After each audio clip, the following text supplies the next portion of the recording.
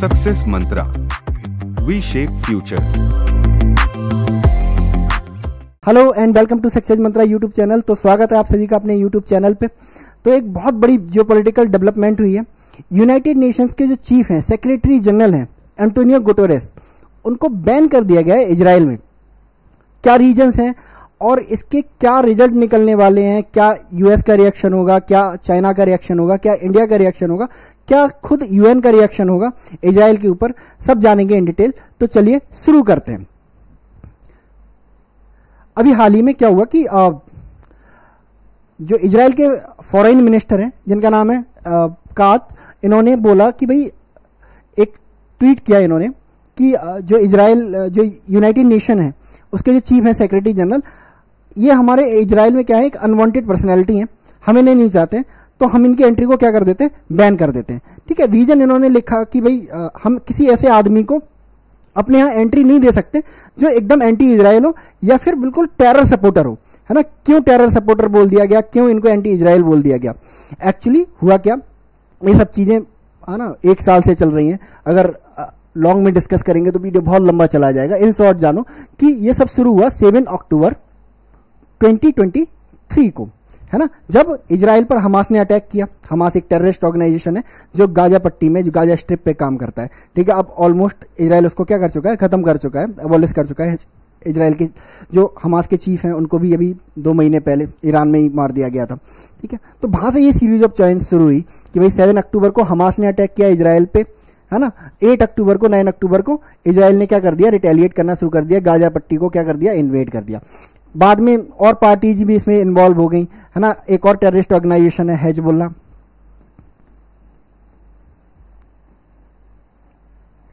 ठीक है। ये भी इसमें इन्वॉल्व हो गई। किसमें काम करती है, किस कंट्री में काम करती है? ये लेबनान में काम करती है। कहाँ पे काम करती है ये? लेबनान में काम करती है। तो ये भी इसमें इन्वॉल्व हो गए। ठीक है? ये भी इन्वॉल्व हो गए। अब हुआ क्या कि लेबनान की जो हिजबुल्ला है वो जब इसमें इन्वॉल्व हो गए तो जो हिजबुल्ला है, उसको सपोर्ट कौन करता है? उसको सपोर्ट करता है ईरान। ईरान की प्रॉक्सी बोली जाती है वो। ठीक है तो अभी कुछ दिन पहले क्या हुआ था कि जो इसराइल है, उसने बहुत सारी एयर स्ट्राइक्स करी लेबनान में, और जो हिजबुल्ला का जो चीफ है, इसका नाम हसन नसरुल्ला है, उसको मार दिया उस बॉम्बिंग में। दो महीने पहले जैसे कि बताया, है ना, उसके चीफ को भी मार दिया गया।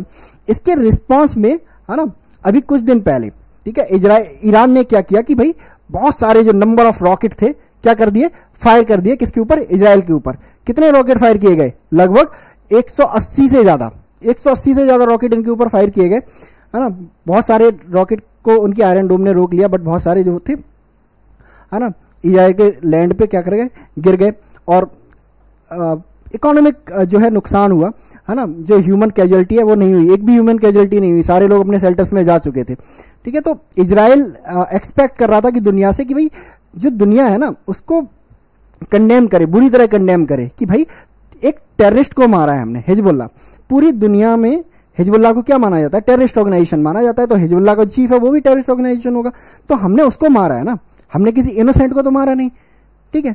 अब ये हम पे अटैक कर रहा है। ईरान हम पे अटैक कर रहा है है ना? और उसके बाद आप लोग इसको कंडेम नहीं कर रहे हो। तो सेम गलती हुई एंटोनियो गुटोरेस से, जो यूएन के चीफ है है ना? तो इसराइल चाहता था कि भाई, जो गुटेरेस हैं, वो थोड़ा यूनाइटेड नेशंस के चीफ सेक्रेटरी जनरल होने की भूमिका निभाएँ और ईरान को स्ट्रांगली कंडेम करें कि भाई, एक टेररिस्ट की मौत पे आप ऐसे क्यों रिएक्ट कर रहे हो? ठीक है बट इन्होंने ऐसा नहीं किया इन्होंने बस वही अपना एक लेक्चर दिया कि सब पीसफुली रहे है ना? पीस बना के रखें पीस बहुत ज़रूरी है और किसी सॉल्यूशन है ना? है ना? किसी चीज़ का सॉल्यूशन नहीं है। तो इसराइल इस बात से खफा था इसको लेके इनकी एंट्री को क्या कर दिया गया है? बैन कर दिया गया है इसराइल में। ठीक है? तो आ, क्या रिपरकशन होंगे इसके? है ना? कुछ नहीं होने वाला है क्योंकि यूएस सपोर्ट करता है इसराइल को। है ना? और यूएन को कौन कंट्रोल करता है? अगर डायरेक्टली इनडायरेक्टली बात करी जाए तो यूएन को अमेरिका ही कंट्रोल करता है। तो एक बस सिग्नल भेजा गया है कि भाई दुनिया को कि देखो, हमारे सपोर्ट में अगर आप नहीं बोलोगे तो हम ऐसे बैन कर देंगे ह्यूमिलेट कर देंगे। बैन करने से, है ना, कोई गुटेरियस बहाने के लिए, है ना, कोई बहुत ज़्यादा मुताबले नहीं है है ना? बट एक सिग्नलिंग है ना, एक ह्यूमिलेशन होता है कि भाई, है ना, कि देखो बैन बैन कर दिया अनवांटेड पर्सनैलिटी डिक्लेयर कर दिया तो होने जाने वाला कुछ नहीं है बट एक सिग्नलिंग है, एक मैसेजिंग है पूरी दुनिया को, दुनिया के वर्ल्ड लीडर्स को, ठीक है? तो जान लेते हैं कि एंटोनियो गुटेरियस एक्चुअली है कौन ये? है ना एंटोनियो गुटेरियस जो है, जो पोर्टुगल से बिलोंग करते हैं, और ये पोर्टुगल के प्राइम मिनिस्टर भी रहे हैं, ठीक है? पोर्टुगल के प्राइम मिनिस्टर रहे हैं, कब से कब तक रहे नाइनटीन 1995 से लेके 2002 तक, ये कह रहे हैं? 2002 तक पोर्टुगल के प्राइम मिनिस्टर भी रहे, ठीक है? इसके अलावा 2017 से ये, है ना? 2017 से यूएन के सेक्रेटरी जनरल हैं, दो टेन्योर के, दूसरे टेन्योर के लिए चुने गए है ना? और क्या नाइन्थ रैंक है नाइन्थ में? है ना? नाइन्थ नौवे नौवे सेक्रेटरी जनरल हैं यूनाइटेड नेशंस के, है ना? कब पैदा हुए? 1949 में पैदा हुए थे, है ना? इंजीनियर हैं, है ना? बहुत सारी लैंग्वेजेज जिनको आती हैं, ठीक है? सेक्रेटरी जनरल बनने से पहले, है ना? यूनाइटेड नेशन के हाई कमिश्नर भी हाई कमिश्नर फॉर रिफ्यूजीज भी थे जून 2005 से लेके जून 2015 तक। ठीक है? अगर बात करें इसराइल की और ईरान की ज्योग्राफिकल लोकेशन के बारे में, है ना तो उसको भी चलिए, जान लेते हैं कि भाई कहाँ पे है ईरान और कहाँ पे है इसराइल चलिए।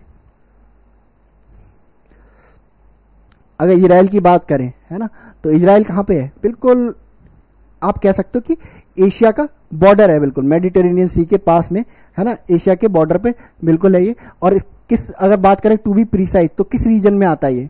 ये आता है आपके वेस्ट एशिया में ठीक है? वेस्ट एशिया में आता है ठीक है? अगर बात करें इसके पड़ोसी कंट्रियों की बात करें है ना तो ऊपर आपको लेबनान देखने को मिलेगा सीरिया देखने को मिलेगा है ना? यहाँ जॉर्डन भी देखने को मिलेगा और यहाँ इजिप्ट भी दे, देखने को मिलेगा है ना?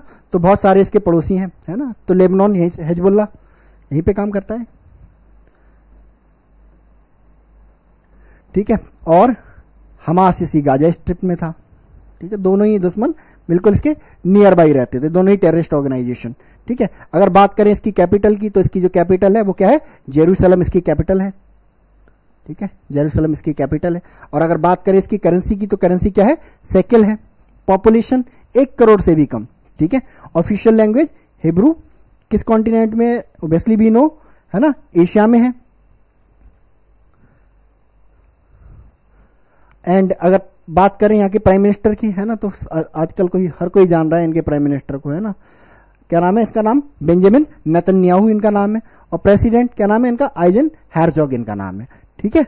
चलिए, जान लेते हैं ईरान के बारे में कि भाई ये ये जो कन्फ्लिक्ट है बेसिकली ईरान और इसराइल के बीच में ही है। है ना हिजबुल्ला हो गया हमास हो गया, ये सब एज ए प्रॉक्सी काम कर रहे हैं ये लोग, है ना। तो जान लेते हैं कि भाई ईरान कहाँ है। है ना मोस्ट पब्लिक है ना, ईरान एकदम से अभी और चर्चा में आने वाला है, क्योंकि अब इसराइल की तरफ़ से क्या होने वाला है? रिटेलिएशन होने वाला है। ऐसे थोड़ा ना, है ना? इसराइल पे मिसाइल फायर कर दोगे और इसराइल रिएक्ट नहीं करेगा। इसराइल डेफिनेटली रिएक्ट करेगा और दो तीन दिन में रिएक्ट करने जा रहा है। आप देखिए इस चीज़ को। तो जान लेते हैं ईरान के बारे में।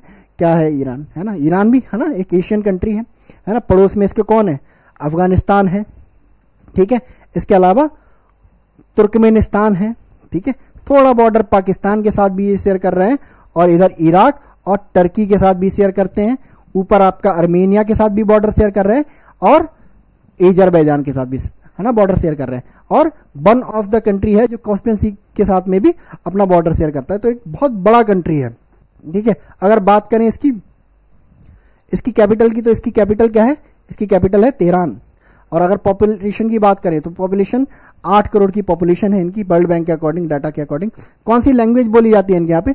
पर्शियन लैंग्वेज बोली जाती है ना? ईरान को 1925 तक पर्शिया के नाम से ही जाना जाता था। ठीक है? बाकी सुप्रीम लीडर इनके, है ना? थियोक्रेसी है तो अली खुमैनी है। और अगर करेंसी की बात करें तो ईरानियन रियोल है ना? और एक और करेंसी है इनकी है ना? डिनोमिनेशन में है ना? जिसका नाम क्या है? तोमान। तो तोमान इनकी करेंसी है। रियाल इनकी करेंसी है। ठीक है? तो चलिए, आज के सेशन में इतना ही। मिलते हैं एक नए इशू के साथ, एक नए बर्निंग टॉपिक के साथ। So thank you thank you so much and God bless you all